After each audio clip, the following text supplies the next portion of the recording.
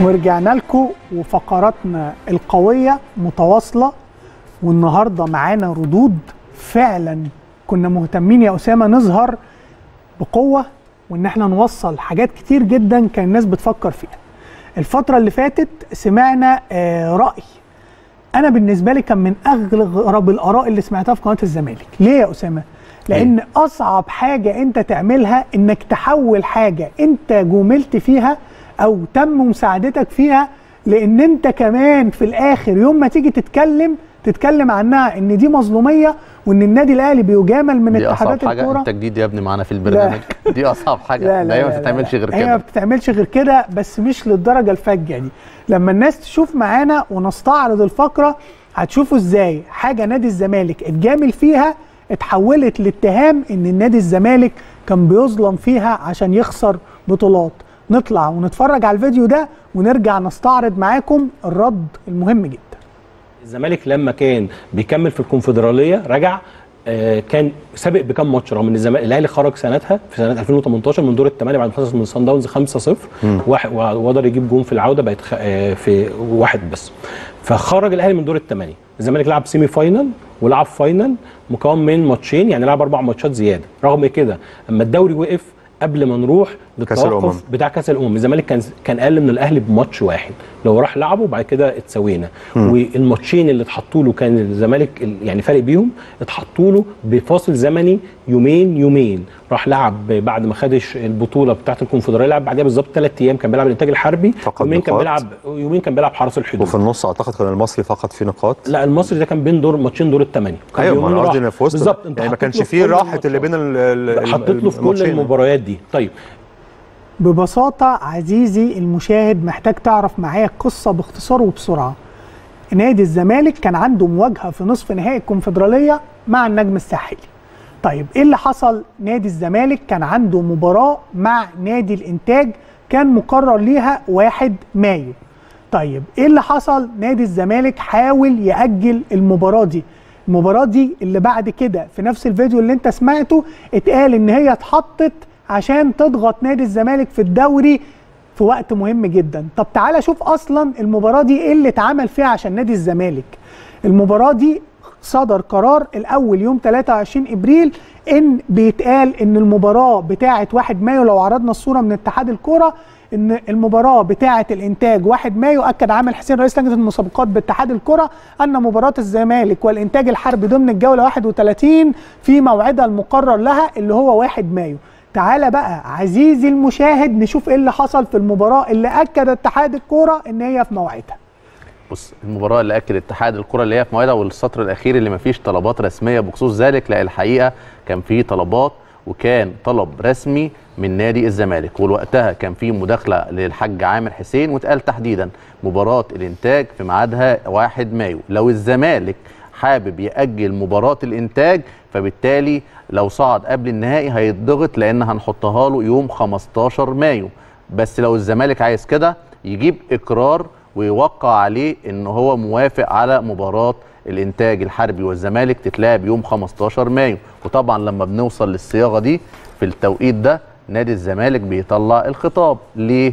هريح اتحاد الكرة يوم 1 مايو ولما يجي يوم 15 مايو هعمل مشكلة تانية أرحلها ل 30 مايو. ده اللي حصل بالظبط لو معانا خطاب نادي الزمالك أو إقرار نادي الزمالك بالتعهد ان هو يلعب مباراة 15 مايو عشان يبقى كلامنا موثق صوت وصورة. وافق ان هو يتضغط. 12 15 9 12 15 بالظبط. اللي حصل إن مباراة 12 يا فارس الداخلية كانت مباراة صعبة على الزمالك وكان في ركلة جزاء للداخلية كانت ممكن تخلي المباراة 2 2 أعتقد وقتها عماد السيد كان الحارس الثالث. هو اللي تصدر ركلة الجزاء فبدأ نادي الزمالك يقلق وطلع رئيس نادي الزمالك قال أنا لعبت متكسرة أنا مش هلعب مباراه 15 مايو. طب يا عم ده في خطاب؟ قال لك ما أعرفش حاجة عن الخطاب ده أنا بعت لكم الخطاب 1 مايو ومش هلعب 15 مايو. والحقيقة كنا عارفين إن المباراة مش هتتلعب 15 مايو. ليه يا فارس بتلعب؟ لأن نادي الزمالك بعد ضغوطه خالف التعهد المنصوص عليه لاتحاد الكورة بلعب بثلاث مباريات يوم 9 يوم 12 يوم 15 مباراة الإنتاج اللي اتأجلت أصلا قبل كده وما اتلعبتش 1 مايو واللي كان مفترض تتلعب 15 مايو برضو ما اتلعبتش 15 مايو عشان الزمالك يروح مباراة نهضة بركان في النهائي من غير ما يلعب مباراة الإنتاج. ولو استعرضنا الصورة اتقال إن إقامة مباراة الزمالك يوم الاربعاء 15 مايو تم تأجيلها لموعد يحدد فيما بعد. مش مشكلة يا عم دلوقتي إيه الميعاد؟ مش مشكلة هنعمل إيه؟ أجل للزمالك لأن كان الزمالك. وإن كانت دي السابقة وقتها كان ممكن تبقى مفهومة إنما اوريدي أنت أصلا مأجل لك أنا قبل كده نفس المباراة بتعهد. طيب الزمالك عارف ليه اتقالت فيما بعد؟ آه. لأن في الوقت ده كان رمضان وكان الزمالك وفي الترتيب ممكن يروح يلعب الجونة لو أجلنا مباراة الإنتاج بعيد يعني. لكن اتحطت مباراة الإنتاج يوم 30 الغريب إن بيتقال إن الضغط وفارق يومين. طب ما إحنا معانا الصورة ونستعرض فارق الأيام لما لعب نادي الزمالك بعد ما كان خد نهائي البطولة. الكونفدرالية. بالظبط. ده كان مباراة الداخلية والزمالك 12 5 اتشالت مباراة الإنتاج. خلاص امشي يا مباراة الإنتاج بتاع 15 أسبوع. مايو. ريح سبع أيام بين المباراتين. يعني غير يومي المباراة في سبع أيام في الفاصل.